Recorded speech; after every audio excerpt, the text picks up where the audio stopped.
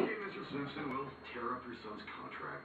Sorry, guys. You know, his mother's the one who made me. Careful. Sounds, uh, like your kind of... Almost. Oh, alright, this is hard, Dakota. Be in, um, Be careful. joining the army? Wouldn't it take me away from my family for two whole years?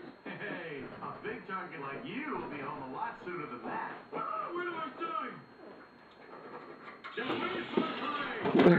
Oh! Why'd you do that to me?